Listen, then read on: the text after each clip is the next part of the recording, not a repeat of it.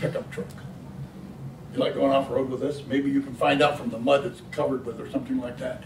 That's a performance question. If it's any type of performance vehicle at all, doesn't have to be a Porsche, something that's some type of performance, a Mustang, something like that. A real neat question that I used to have so much fun is asking the customer, do you like to drive this vehicle the way it was meant to be driven?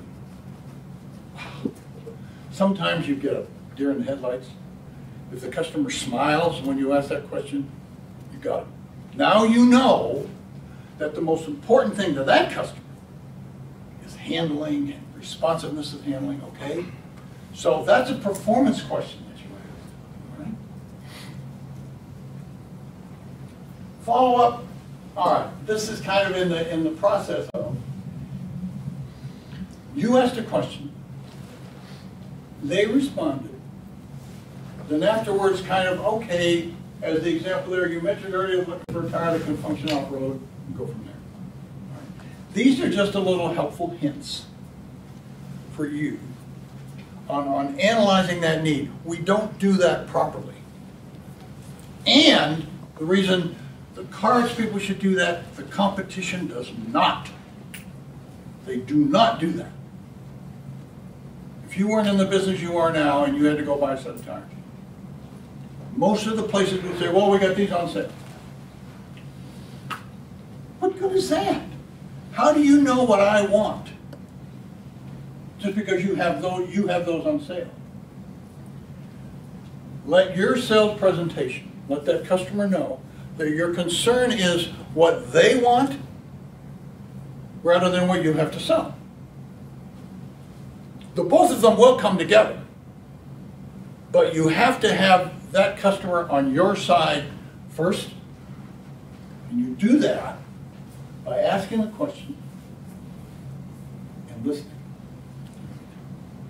This is the hardest part if you haven't been doing it. Right? New people have a real problem doing this. Try it. Practice it, practice it, practice it. Find out what the customer needs and just, just tell them. One of the neatest things and you've all got, I'm sure, tires, some type of a tire display. Do you have tire walls? You have tire, okay. The customer says, well, what are all these questions for? You walk over to that tire wall, stand in front of it and go, Mr. Phillips, there's eight different tires here.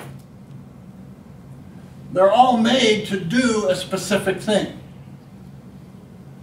You need to help me, if you would please. Which one of these is going to be best for you? Oh, in that case, okay, fine. Right? Give them a reason to talk to you. All right.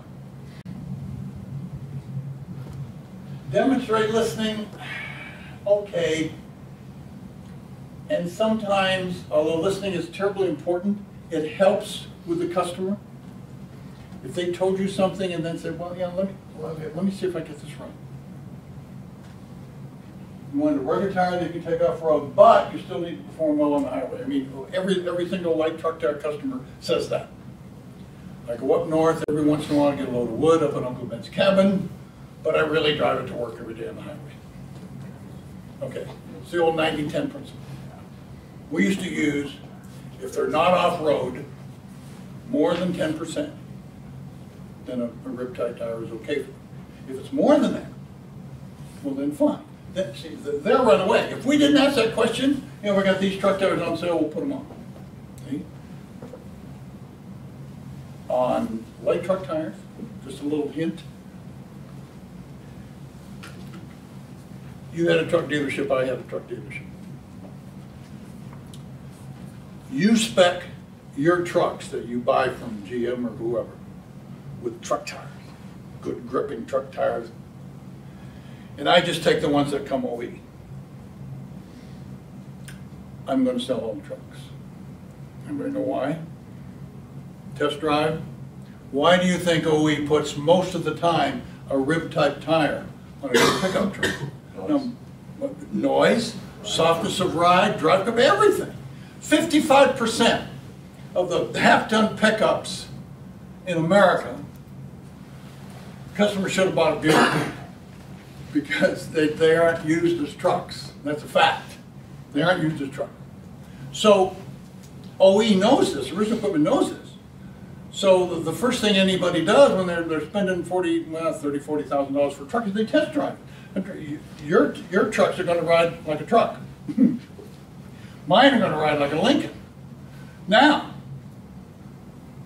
you've been in this business.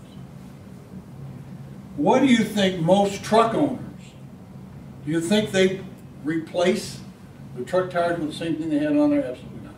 No, they don't. Because it's a truck, right? Maybe they do, but most of the time, this is a great place to have that conversation and some fun. And show the customer there's different things you can, different types of tires here. What do you want to do? They'll tell you. Now, every time customer answers your question, what are they doing? They're getting closer to a close of that sale, right? Every single time. If they're going, ah, I don't give a shit. No, no, no, they won't say that.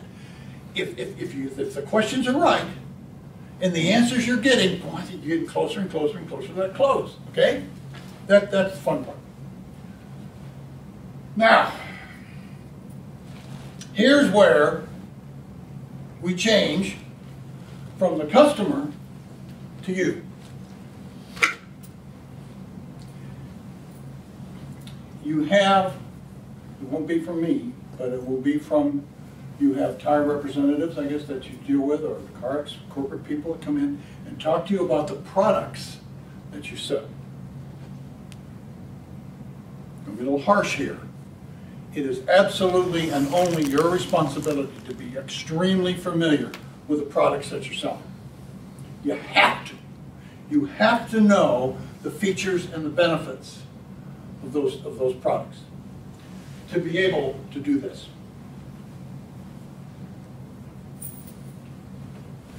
And it's polite because you just spent maybe five to seven minutes, maybe 10 minutes, having this nice conversation with a customer, and that person, Mr. or Mrs., telling you what they want. Now, how's it going to look when this happens? If you then say, okay, Mr. Phillips, I know it, and you walk over and you go, well, look, which one do you want? That doesn't work. Customer goes, wait a minute. I just spent all this time telling you exactly what I want that tire to do. You've got all these different kinds. Is not the customer expecting you to say, this is the one? Yes, they are. Yes, they are. Don't, don't not do that, all right? So, here's the process. Hi, smile, find out what they need. Now, you're the expert. Yes, they kind of know they've been on the internet, but you're the expert. And it really gets confidence in that customer. When you walk over to that tire wall and say, Mr. Phillips, because of all these things you've said, you summarize. This is the tire I recommend for what you told me. How can the customer say no? Rather than, which competition does, well, we got these on sale, or, you know, that might work, and that might work, and that might work, and that might work. Don't do that. Don't do that. I'm sorry, you're, you're, I, you're gonna make the customer mad, all right? Don't do that. Show the tire recommend. Make sure that the plates are clean, okay, fine, you, you need to do that, and I'm sure they are. But this is terribly important. Show what they will receive for their money, emphasize the attractive look, okay, fine. The recommendation must match the information the customer provides. Little tidbit. was in a dealership once, and the salesperson asked the fellow how much, how would he like to set a set of tires? And this guy just went into a tirade about the tires that came on his vehicle were OE, and they just, they were terrible. There was no traction, they were noisy, everything else. What did the salesman do? Because they were on sale. Well, Mr. Phillips, and showed him the tire that this customer just kept saying, I don't like them. See, no listening skills there at all, all right? So when you recommend this tire, as it says here, it has to match what the customer told you. That, that's common sense. I told you all this stuff is common sense.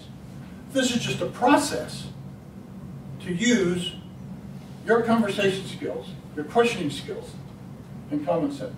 So now we're, we're showing the tire recommended, and that was easy. We've done that. Boom. Do not not do that. Your confidence stuff, you're the guy. This is the one for you. And, and and if it's not, I know what you're thinking, well, yeah, they, you picked a hundred and eighty-nine dollar one. Get into that. And there's a way of countering that. It works. But we've shown this is the one. Now, here's where you gotta be an expert. This is, this is where you've gotta be an expert. Do you have different choices when you, when a customer needs bricks? Are there different paths, goods and bads, features, benefits about, okay? Are there, what other kind of differences are there in selling a brake job? I mean, we got a different pad, one is longer, lasts longer, doesn't squeak, what else is there? Somebody help me here. Turning versus direct replacement? Pardon me? Rotors. Turning versus direct replacement of rotors. Oh, okay, there's something there too, all right. So, but, but, but you need to know the difference, the difference between the pads, whether you turn the rotor, replace the rotor, okay. There's a feature and a benefit of what you're telling the customer, what is it, did I miss something? Okay, cool, all right. It's important. Now, everybody will tell you about feature and benefits, you gotta do that, you gotta do that. Some will say you gotta say the benefit first, and then you gotta sell the feature. Okay, fine, whatever, whatever works for you. But please do this, and remember this rule. Never mention one without the other. If you got the greatest feature in the world, and some, some new people in this business, they really, they get the tires down and all the features of it, and all the stuff, and the tread design, and but just beautiful, and they just start spilling out all those features. And customers sitting there going, yeah, okay, what's in it for me? They never say that. Salesman never says that. He's just so proud of all the stuff that he knows about this tire. Well, you're not buying it, fellow, the customer, all right? So every time you mention a feature, there is a benefit tacked onto that, or the other way around. The benefit might be the best wet traction out there, which is what you said, Mr. Phillips, when you walked in here. You're tired of sliding around in that minivan on the highway, so I want something that has the best wet traction out there. All right, this has the best wet traction out there, and it has that because of, now it's the feature. So whichever way you do it, do not mention one without the other. Feature benefit, benefit feature, makes no difference. And these are just some examples. The benefit is why, why it's important and what it means the person will buy it, okay, fine. There's some other examples. The practice communicating the benefit first, if you want to, and then the feature. Okay, whichever is more comfortable. If, if you're really high, and this is yourself, if you're really high on knowing product, and I know a lot of the people I used to work with, they really take their pride into knowing the product. And if you're more comfortable doing that, fine. But don't mention six features in a row, because because you lost them. Okay. They're not tired people, you are. All right?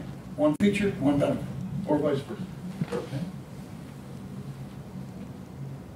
And here's the big thing. All right, a rib tread design, what's it gonna get? One thing, just one thing. What's, what's the benefit of rib tread design? Uh, Comfort. All right, there's one. What's another benefit of a rib type tread design? Quiet. There you go, there's two. What's another benefit of a rib tread design? I guess that's why we're here today. Anybody? Okay. Smoothness, quiet. That's why you look at original equipment tires. I could take probably five different manufacturers and line the tires up so you're looking at the tread design. Oh, OE tread design.